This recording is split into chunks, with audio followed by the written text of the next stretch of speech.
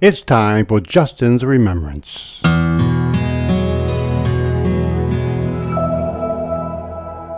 We remember August 25th in musical history. 1965, two female Beatle fans hired a helicopter to fly over the house the Beatles were renting in Beverly Hills, California, and jump from the helicopter into the swimming pool.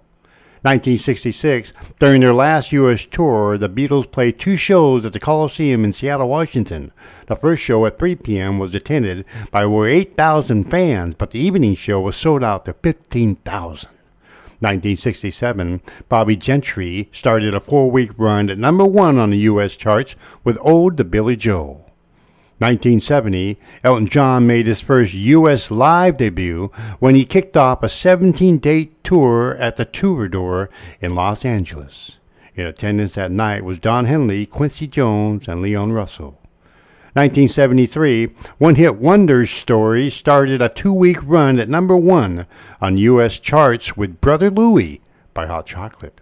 1997, a deranged man who had escaped from a mental institution near Helsinki, Finland, was arrested.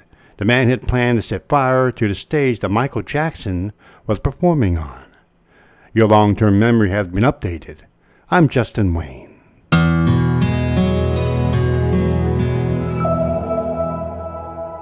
Classic Hits, KRIC.